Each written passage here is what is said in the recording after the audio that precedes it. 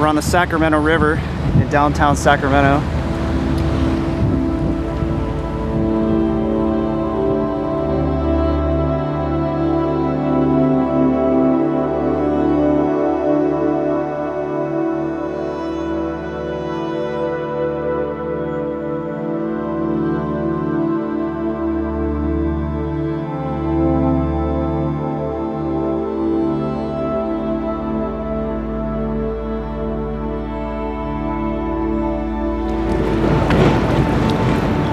Thank you.